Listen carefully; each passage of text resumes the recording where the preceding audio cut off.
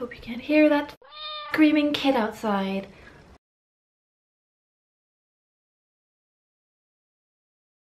Friendships have always been kind of tricky for me. I've always put my relationships above everything else. It's my priority, it's my number one. And I thought, I thought it would be the same for everybody else. Until I realized that most of my friendships tended to end in a disappointment. Turns out people have different priorities. Who would have known? If for me, my priority might be people and relationships, yeah, for other people it could be career and money. And it actually took me most of my life to realize that, believe it or not. Placing value in people and relationship is unpredictable, unstable, and can be so painful because it makes you so vulnerable to things that are completely out of your control. And by things, I mean other people. Sure, you can lose your job, lose all your money, end up broke, change your career, but money doesn't flake on you. It doesn't betray you. It doesn't dissolve over time like some relationships tend to do. In a sense, I was kind of lucky when it comes to friendships as I've got to experience many types of friendship. I got to experience lovely, valuable, uh, deep-rooted, bonding, friendship. I've got to experience contextual friendships where the relationship starts and ends where you both are, which is usually a workplace or a course or school or whatever. I've got to experience friendships that have turned into more than friendship. I've had romances revert back to friendship. I've also experienced toxic friendships that I've had to cut out of my life. And I've also been badly hurt by the betrayal of someone I considered to be a very close friend. And then there's the disappointment. Ooh, the disappointment. I actually feel like most of my relationships are tinted with disappointment. Actually, disappointment is so present in my relationships that it makes me wonder, am I expecting too much out of my friendships. Sure, I'd love to be in a group of friends where I'm Carrie and I have Miranda, Charlotte, and Samantha out of Sex in the City to support me and see every other day and hang out and chill. But I know I'm in the real world. I know what reality is. I actually have a pretty darn good grip on reality. So where am I going wrong? Why are friendships so tricky to me? Why the disappointment? What am I doing wrong?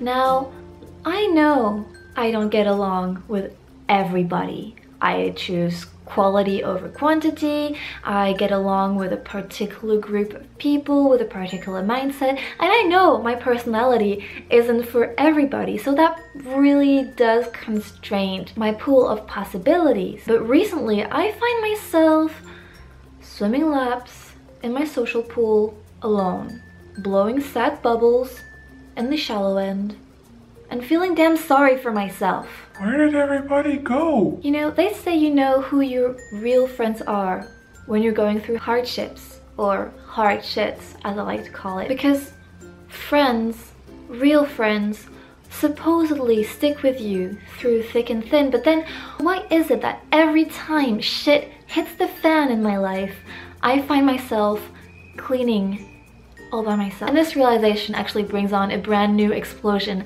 of shit everywhere. Now I'm the type of person that tends to forgive everything and everyone. And I will actually go out of my way to find excuses for people letting them off the hook like nah it's okay they were probably busy or tired or just tired about work to actually call to cancel people have lives they can't always check up on you or ever except when they need something from you. After a while, you start doubting yourself as a person. Your self-confidence plummets and you're wondering why you're alone cleaning poo off the walls and why nobody likes you. Sure, the poo on the wall stinks. Who wants to take time out of their lives to go clean up somebody else's shit? I'll tell you who. Friends. Friends do do that.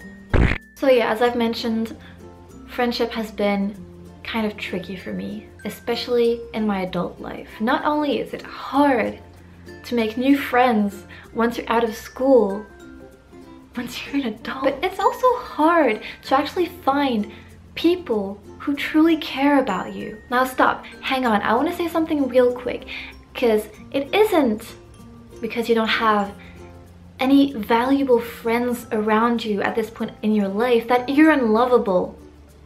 Absolutely not. so don't think that about yourself and don't let anybody scoff at you and say, She doesn't have any friends. She must be weird. That says a lot about her. No way. Don't let anybody say that about you. You know who you are. Little Anyway, I don't know what the point of this video is. Maybe this was a overdue rant. I have tried to write a blog post about it ages ago, but it just turned into complete anger and dissing on everybody I know, which is not the point of this. Don't get me wrong, I just want to talk about friendship in general, get this off my chest and see if there's anybody who relates to this. Friendship is tricky. Relationships are messy. But if there's someone you care about in your life, if someone matters to you, be a good person to them, be a good friend, be a good partner. And obviously that goes for me too. I'm not always the best of friends. I sometimes forget to check up. I know, I sometimes realize that, oh, I'm gonna call this person because I need something from them. Oh shoot, I haven't spoken with them for two months and now I need something. What the F? That type of thing. Be a good friend to the people who matter. Even if relationships aren't your priority, try to make it go at least in your top three because at the end of the day, cold cash does not keep you company. It does not keep you warm at night. You can't call it when you're feeling sick. Relationships are, let's be corny, relationships are everything.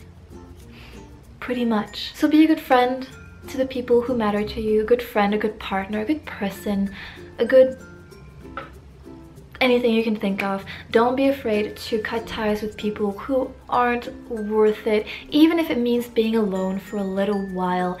It's okay, it doesn't mean you're unlovable, it's just a period of time. You'll find people who will be your people, your tribe, your vibe attracts your tribe. Yeah, I just said that. And until then, learn to count on yourself, learn to rely on yourself because in the end, you are all you have. And it's corny and it might be silly, but it's true. It's friggin' true. I'm experiencing it right now and I'm so happy that I have myself to count on. Me, myself, and I. You, yourself, and you. So guys, I'm opening up the comments for a discussion. I want to know what your point of view on friendship is. Maybe you've had the same friends throughout your entire life. Maybe you're happy to have a lot of friends that are not close because you can pick and choose and mix and mingle. Maybe relationships aren't your thing at all. Maybe you're happy to be alone and rely on yourself. Let me know in the comments. Let me know how you make friends. I'm actually interested to know how people make friends. Do you just go up to someone and be like, hey, I just met you and this is crazy. Here's my number. Call me maybe. I don't freaking know but let me know. If you enjoyed this video, give it a thumbs up. I really appreciate it. Subscribe if you haven't already. Be my friend, join the community, and I usually post one to two videos a week. Until the next time I see you, I'll word you all, and I'll see you very soon in another video. See you soon. Bye. You know who you are. little